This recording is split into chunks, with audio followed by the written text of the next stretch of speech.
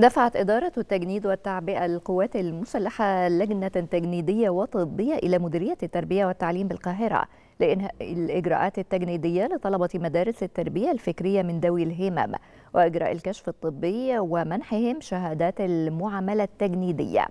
يأتي ذلك في إطار حرص القيادة العامة للقوات المسلحة على تقديم كافة أوجه الدعم لأبناء الوطن من ذوي الهمم وتماشيا مع منظومة الرعاية المتكاملة التي تقدمها الدولة لهم.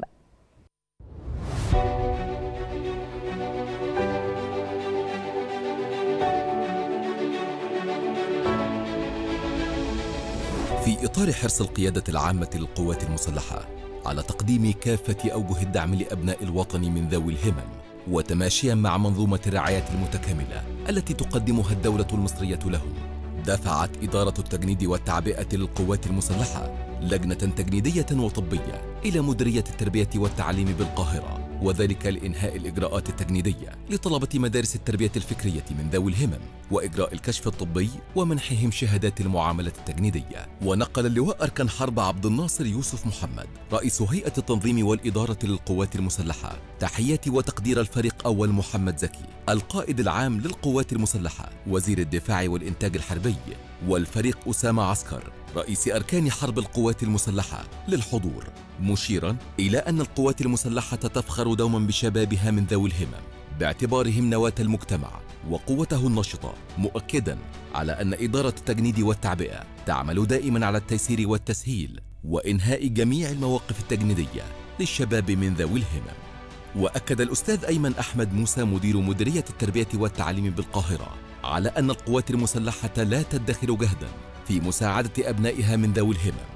لافتا إلى امتلاك مصر للإرادة السياسية القوية الداعمة لقضايا الفئات الأولى بالرعاية. وقام رئيس هيئة التنظيم والإدارة للقوات المسلحة.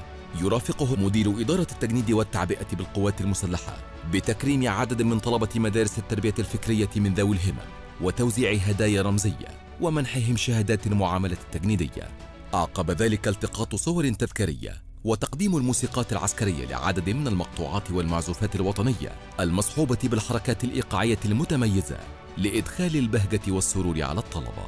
اهتمام القيادة السياسية طبعا بذوي الهمم وقادرون باختلاف ده توجيهات السيد رئيس الجمهورية والقوات المسلحة ما قصرتش وأسعدتنا وأسعدت ولادنا. كل الشكر والتقدير لدعم القوات المسلحة لولادنا ذو الهمم على كل اللي بيعملوه معانا ومع أولادنا.